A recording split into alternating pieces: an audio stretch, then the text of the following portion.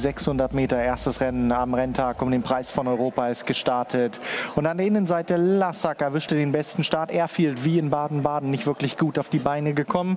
Folgt da zunächst einmal am Ende des Feldes. Lassak also führt vor außen Septimus Servus. Dahinter ist es Wonderful Eagle als ähm, drittes Pferd. An der Innenseite Tünnes.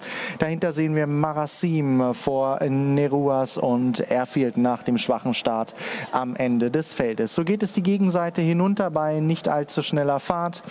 Außen äh, Septimus Servus, innen Lassak, das die ersten beiden, dahinter Wonderful Eagle, mit innen äh, davon äh, Tünnes, dahinter Marasim mit Neruas und dann ist es Airfield.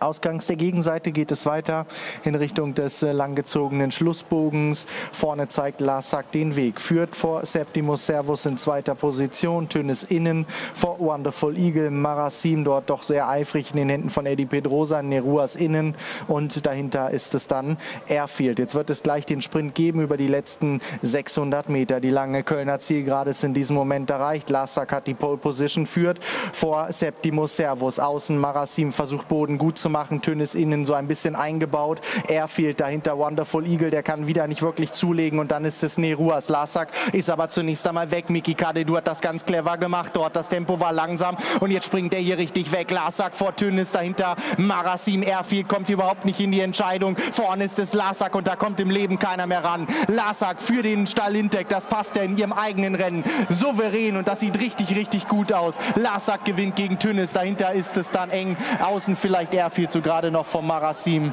Dann war es ähm, Septimus Servus von Neruas und äh, Wonderful Eagle.